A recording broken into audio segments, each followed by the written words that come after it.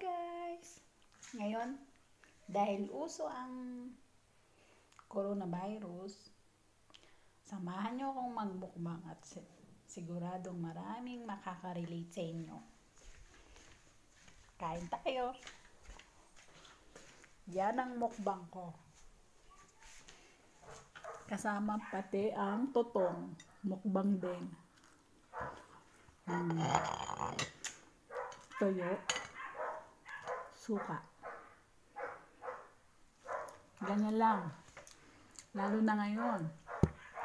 Karamihan ay walang trabaho. Sa bahay lang. Walang trabaho, walang pagkain. May pera man, walang mabilhan. Kaya ganito ang pagkain ng mukbang. Hmm. Sarap.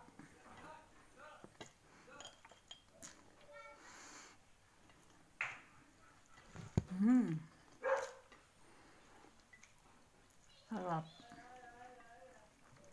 Sabi nga ng tatay ko, hmm, sa pag maikli ang kumot, matutong mamaluktot. Kaya, ngayon walang trabaho, tipid-tipid din. Hmm, pambukas pa. 'Di ba? Amoy-amoy lang. Ganyan ang mukbang ngayon. Siguradong viral to. Maraming nagmumukbang ng ganito.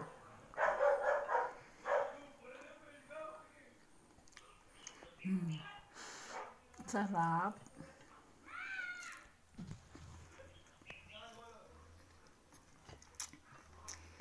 Ang daming walang trabaho sa Pilipinas. Kakaawa. May pera man, walang mabilhan, sarado na.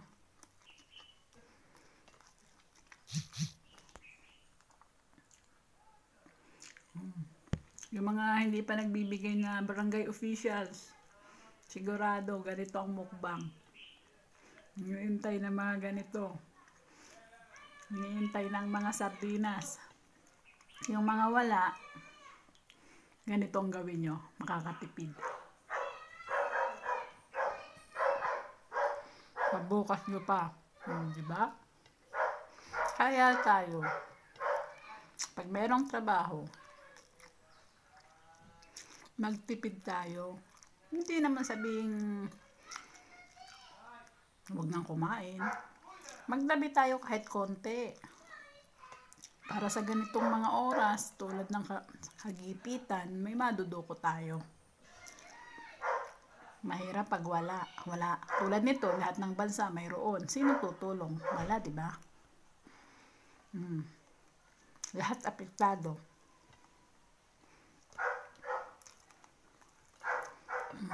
Ang mga OFW hindi rin makapagpadala. Kasi, tulad namin dito sa Israel, quarantine din. Hmm. Sarado lahat. Bawal, may polis sa labas. Ganon din sa Pilipinas. Hmm. Busog na ako. Pambukas ulit. Sarap.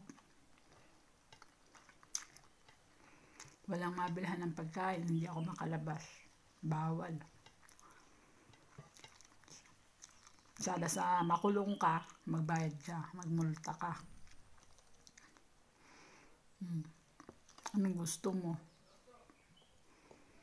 Diba? Hmm. Nakatikim ng isa. Sarap. Siguradong pati kanin ko. Hmm, mukbang. Tipid na tipid. Totong.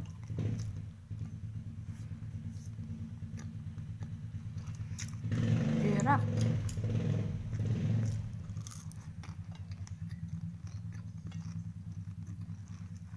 Hmm. Kain tayo.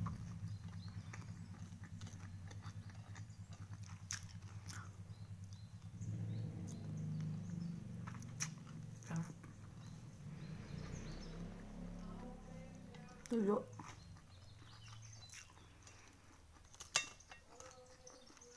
May amoy lang.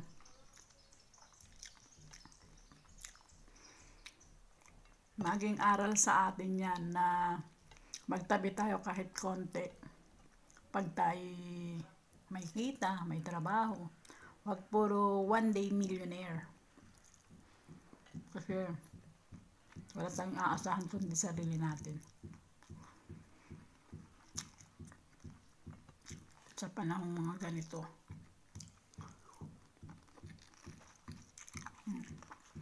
Thank you. Pagsama sa akin, sa aking mukbang.